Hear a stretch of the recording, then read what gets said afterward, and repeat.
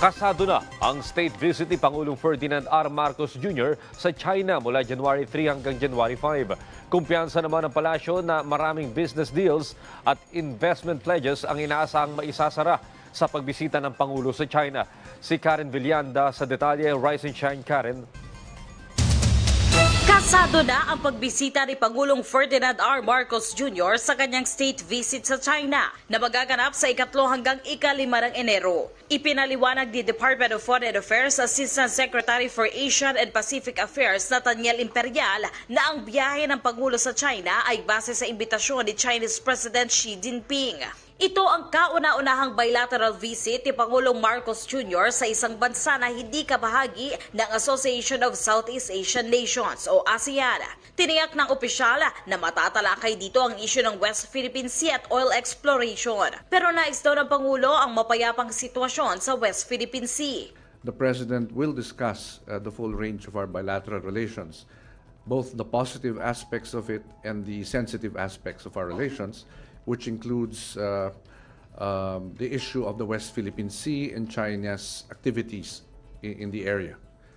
Um, uh, the President has said that um the maritime issues do not uh, define the totality of our bilateral relations with China, but nevertheless, we acknowledge the, he acknowledges the importance of this issue. Ayon sa DFA, mahalaga ang ugnayang panlabas sa China ng Pilipinas kaya itinuloy na rin ang state visit kahit na mataas ang COVID-19 cases sa China. Tiniyak ng DFA na ipatutupad ang bubble arrangement sa pagtungo sa China ng Pangulo para malimitahan ang posibleng pagka-expose sa virus. Uh, we have received assurances from our Chinese hosts that all arrangements are being made to ensure the safety of the President and his delegation during the visit. May mga pagbisita talaga na hindi natin pwedeng i-postpone. Magiging mahigpit din ang pamahalaan sa pagbalik ng Pangulo kasama ang mga delegasyon pabalik ng Pilipinas. Hindi kasi makakasakay sa PR001 kasama ang Pangulo kung may magpositibo sa COVID-19 sa mga delegado sa China.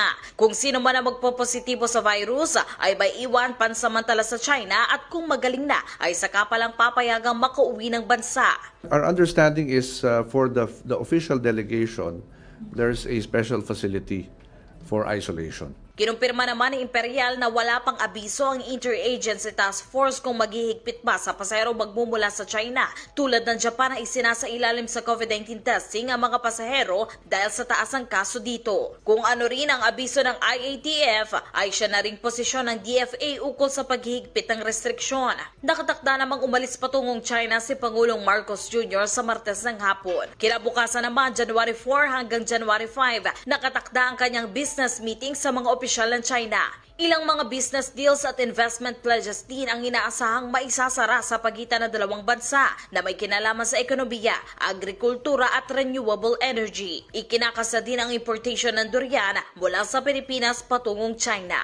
Karen Villanda para sa Morning Show ng Bayan, Rise and Shine, Pilipinas.